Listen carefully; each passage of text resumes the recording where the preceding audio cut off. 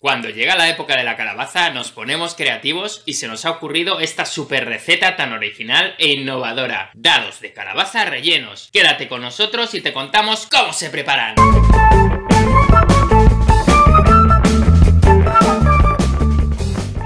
Vamos a necesitar calabaza, mozzarella, sésamo, miel, maíz, aceite, pimienta negra, ajo en polvo, comino, cayena, sal, pollo o calabacín. La temporada de calabazas es de abril a noviembre, aunque a veces también podemos disfrutar de ellas en marzo y diciembre. Lo que hemos hecho ha sido cortar una rodaja de 6 centímetros de grosor.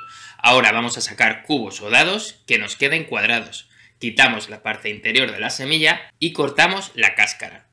Veis que nos queda un cubo casi perfecto, así que haremos lo mismo para sacar 8 dados en total. Cuidado no cortarnos. Y aquí tenemos los 8 cubos de calabaza. Como veis, hay algunos sobrantes que utilizaremos para hacer el sofrito que irá dentro de nuestros cubos. Cortamos la calabaza en trozos muy pequeños. Cuando luego lo sofriamos a la sartén, quedará una textura melosa con la que luego rellenaremos los cubos que junto con el resto de ingredientes quedarán perfectos. Y haremos lo mismo con el pollo. Como os hemos comentado los ingredientes, esta receta puede ser vegana perfectamente, si sustituyes el pollo por calabacín o cualquier otro vegetal que tengas a mano. El resultado es similar y os quedará sabrosísimo. Calentamos el fuego y usamos una sartén a temperatura media alta. Echamos un poquito de aceite de oliva y vamos a ir poniendo nuestros cubos de calabaza. Los vamos a dorar todos levemente a modo de sellado para que no pierdan los jugos cuando los metamos en el horno. Queda bonito, ¿verdad? Vamos a ir dorando cada lado más o menos hasta que tengan este tono. Y así haremos con los seis lados de cada cubo, procurando que no se nos queme. Añadiremos sal. En un plato vacío vamos a echar miel, que se extienda por toda la superficie y a continuación vamos a ir empapando los dados de calabaza con ella, por todas sus caras. Este es un doble truco para que cuando vayamos al horno no se quemen y además la capa de fuera con la miel quede caramelizada con un toque dulce. Dejamos que se impregne todo bien con la miel. Ahora vamos a espolvorear unas semillas de sésamo por todos los lados. Un semi rebozado que dará un toque más apetitoso a la presentación. ¿Sabías que el sésamo contiene fitoesteroles? Son unas sustancias procedentes de las plantas que contribuyen a reducir el colesterol. Colocamos las piezas en la bandeja del horno sobre un papel vegetal y nos vamos al horno para darle un golpe de calor durante 20 minutos a 180 grados. La carne de la calabaza es dura y necesita bastante tiempo para cocinarse. Mientras tenemos los cubos de calabaza en el horno, volvemos al fuego, utilizamos la misma sartén, echamos un chorrito generoso de aceite de oliva cuando esté caliente vamos a empezar echando la calabaza.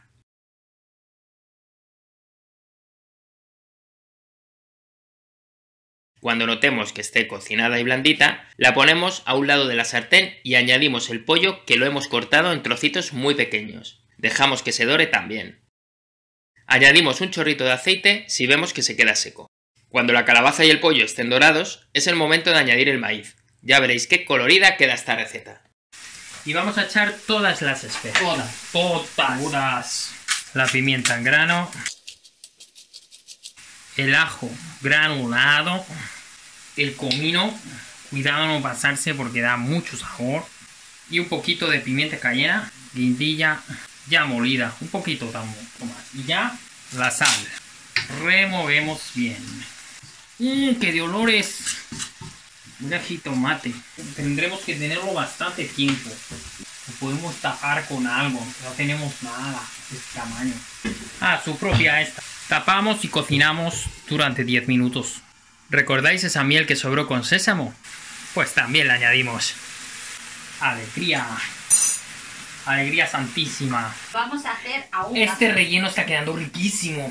Pero hemos pensado, y no lo teníamos previsto, añadir un ingrediente que le va a dar untuosidad a la mezcla. Hablamos de quesito crema.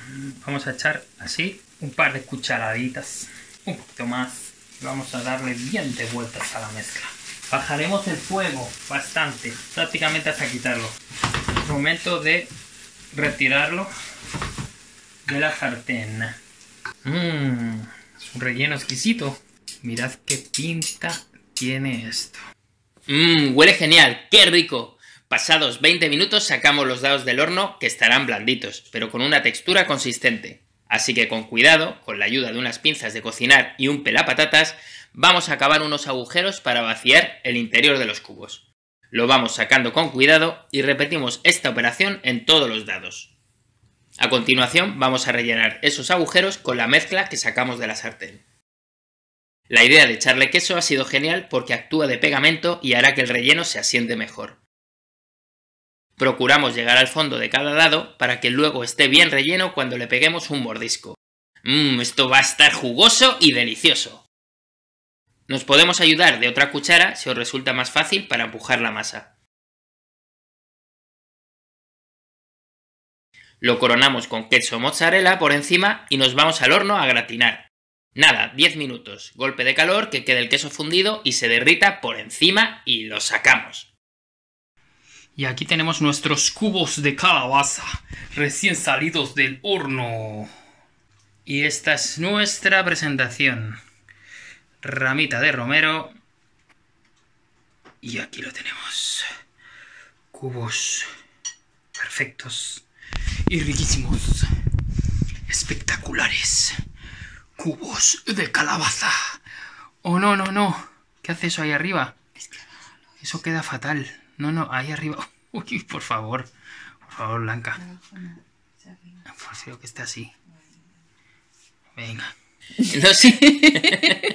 Vamos a probar lo que es lo importante. ¡Mmm! ¡Increíble! No sé si os habrá gustado la receta, pero os habréis reído un montón. Dadnos dedito para arriba y compartid este vídeo. ¡Hasta pronto!